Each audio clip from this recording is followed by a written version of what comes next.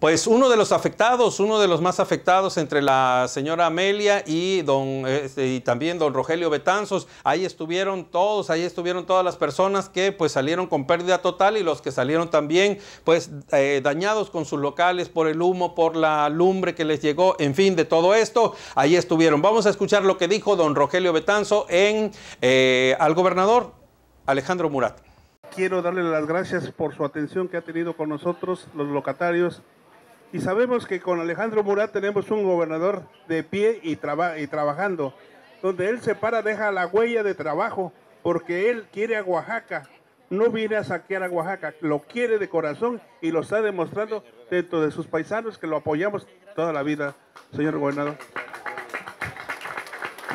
Bien, bien, bien, pues esta es este, pues parte de lo que fue. Esto fue muy rápido. Nos avisaron alrededor de las 3, 4 de la tarde que siempre sí venía el gobernador. Ya se había anunciado en otras ocasiones que venía, luego que para dentro de ocho días. Esta vez también se escuchó el rumor de que venía, ya la gente estaba incrédula. Y cuando de pronto entre las 3 y entre las 2 y las 3 de la tarde se dijo, sí viene el gobernador, llamen a los, eh, nos llamaron a los medios de comunicación para estar presentes, principalmente los amigos locatarios del mercado ellos fueron los que más interés tenía en que cubriéramos esa, esa visita del gobernador Alejandro Murat. Bueno, pues ahí estuvimos esperando, llegó alrededor de las 5 y cuarto de la tarde. Este, ya cuando vimos la avanzada, los grupos y todo, se hizo acompañar por algunos senadores, entre ellos el diputado federal Antonio Amaro Cancino, que ya tenía ratísimo desde que vino en campaña, que no lo habíamos visto por aquí en acciones apoyando a la ciudadanía. Y ahora lo trajo el gobernador y estuvieron ahí. Pero bueno, es el momento de escuchar lo que dijo Alejandro Murat, gobernador del estado de Oaxaca, en su visita a el mercado Vicente Guerrero, damnificado, afectado por un incendio el 2, el pasado 2 de febrero. Eh, me entusiasma estar hoy aquí en la cuenca y me ocupa, me ocupa estar hoy aquí en el mercado. Porque sé que familias como la tuya, Rogelio, se han visto afectados en sus ingresos, en su sustento de vida y eso le debe de ocupar al gobernador. Por eso estoy aquí.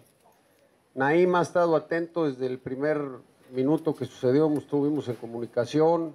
Lo que quiero decirles a todos es que no están solos, que aquí vamos a arreglar todo lo que haya sido afectado. Desde en la mañana con Rogelio pudimos definir, eh, líder, te agradezco que hayas estado, el plan de acción a corto plazo, que es primero rehabilitar los locales que se afectaron, que si no me equivoco son cuatro, y siete que también por el, tema del, del fuego se afectaron. Entonces vamos a rehabilitar el área. Ahorita acabo de canalizar 300 eh, mil pesos de una inversión estimada de 3 millones de pesos que vamos a dejar aquí para rehabilitar todo lo que se pueda del mercado. También quiero que sepan que no vamos a escatimar en el tema de seguridad para que esto nunca vuelva a suceder. Tenemos muy claro que el problema tiene que ver primero con que no había una cisterna, no había agua, no había los instrumentos básicos para enfrentar un problema como un incendio. Entonces le di instrucciones ya al secretario de Infraestructura y al director de Protección Civil para que ya traigan extinguidores aquí al mercado, pero para que aparte estructuralmente con estos tres millones de pesos, todo el tema del alumbrado se haga de una manera en que sea segura y si lo podemos hacer eh, este, subterráneo lo vamos a hacer, lo voy a hablar con la CFE para que nos apoyen y que también se le dé una rehabilitada con el Instituto del Emprendedor al mercado para que ustedes, como bien lo decían, sean más competitivos y, puedan competir, porque a mí me gusta comer en los mercados, comprar en los mercados en vez de tiendas de abarrotes, entonces, para que esté bonito, ¿no? Para los locatarios. Entonces, todo lo vamos a atender hoy estamos aquí y yo estoy viniendo de manera este, permanente aquí a la, cuenca y aquí vamos a estar en Loma con ustedes y vamos a trabajar juntos. y quiero que sepan que no están solos, que el presidente también tiene un amigo y un aliado en su gobernador. Yo no tengo partidos. Mi partido se llama Oaxaca. Entonces, aquí estamos de todos los sabores y colores, pero estamos trabajando.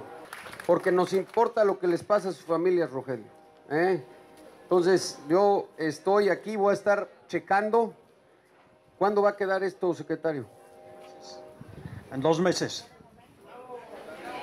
Ya, 15 días. A ver, aquí está el secretario, ya se comprometió. Véanlo bien, ¿eh? Rogelio, en 15 días van a quedar los locales ya para trabajar y todo lo demás va a quedar listo en más o menos de dos a tres meses. Ok, yo voy a estar aquí checando. ¿Sale? Y la siguiente vez, ya que estemos bien, me invitan a comer. ¿Sale? Vale, pues. A ver, aquí están todos los afectados. Quiero que sepan que a todos, aquí está el secretario, que se acerquen con él, con el presidente municipal y con mi líder, que hoy fue, hoy fue personalmente. ¿eh? Eh, yo creo que merece un aplauso porque se fue ahí a, a, poner y a decir aquí estamos y yo estoy de acuerdo. ¿eh? Así que lo coordinamos.